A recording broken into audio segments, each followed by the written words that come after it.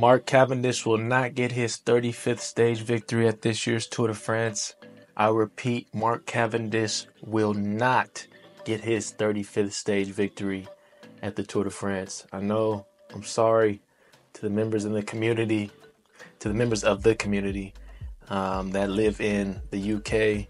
I know you probably are cursing at the screen at me right now, but hear me out. We'll get to why I believe that in a second. We are starting what you're seeing on the screen right now. We're starting with the Tour of Colombia. Uh, Mark Cavendish, most recent victory.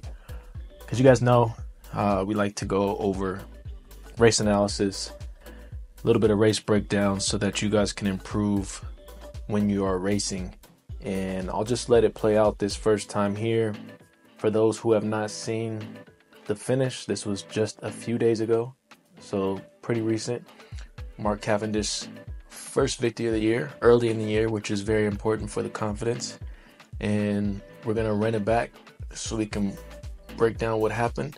Good thing is Mark now has a lead out train. I believe that's Lutsenko at the front, uh, Michael Morkov, and then Cees Bol behind him, and then Mark Cavendish. So he's got about three guys um, that he can hide behind until the very last minute. We see Morkov does a pretty quick pull here. I would like to see him a little closer to the barriers, but maybe he is avoiding that because the feet of the barriers are poking out.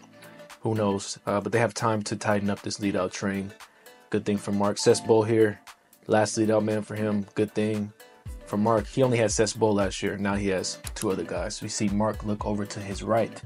He's the right to go. He shoots the gap here. As the smart sprinter as he is, he needs to jump. You can see a little cheeky move that he does against Gaviria. Pretty dangerous, unnecessary in my opinion. What do you guys think about that? Um, but it's enough to make Gaviria think for a quick second, which gives uh, Mark Cavendish the edge that he needs to to finish. believe it or not, Fernando Gaviria has beaten Mark Cavendish uh, 20 times. He has 21st place victories to Mark Cavendish's five in their head-to-head competitions when, the, when they're in the same race. And Gaviria actually won stage one of this race, so maybe that's why Mark felt it was necessary to do a little uh, savvy move there. Not sure. You guys let me know how you feel about that in the in the comment section.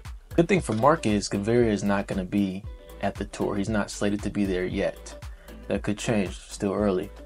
Um, but if he's not there, that is one less um, sprinter that he needs to, a formidable sprinter that he needs to compete against. Let's get into why I think Mark Cavendish isn't going to get his 35th victory at the Tour de France. I believe Mark Cavendish is trending in the wrong direction. This was his first win since the Giro of 2023. And he had five wins in 2022. And last year in 2023, that Giro win was his lone win of the season. Now, say what you want. Um, he didn't have a lead out, what have you.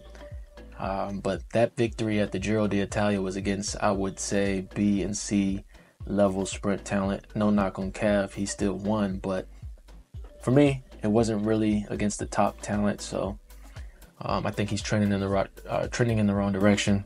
Now, what may change my opinion on whether or not I believe he will get the 35th victory at the Tour de France is how he does at the upcoming UAE Tour. UAE Tour, I know you guys are probably thinking, why would we watch that? But I think it's something you need to mark on your calendars because at that tour, there's going to be Dylan Groenewegen, Olav Kooij um, from Jumbo Visma, good young sprinter. Fabio Jakobsen's going to be there. Tim Merlier is going to be there.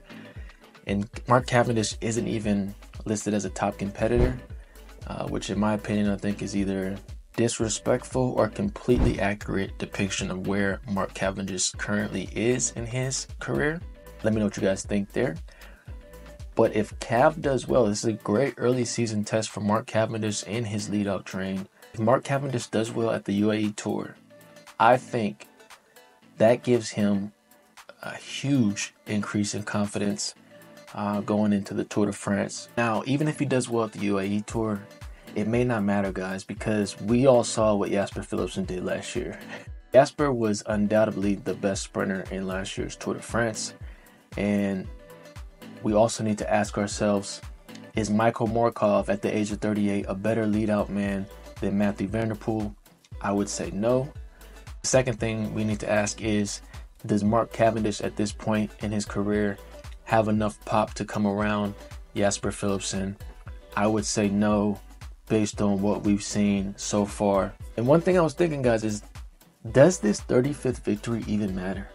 Does it matter for Mark Cavendish? I don't believe it does. I don't believe if Mark Cavendish gets the 35th stage victory at the Tour de France that he is seeking, I don't think it does much for his career. I think the guy has 163 victories in his career. I think it will definitely solidify his legacy at the Tour de France, but overall, I don't think a 35th stage victory does much for Mark Cavendish's legacy in sport. I think he's regarded as probably the best sprinter ever. But let me know what you guys think. If you disagree, if you think that he needs this to solidify his career. Um, but I just wanted to go over this really quickly and share with you why I do not think Mark Cavendish is going to get his 35th victory. And I look forward to reading your comments.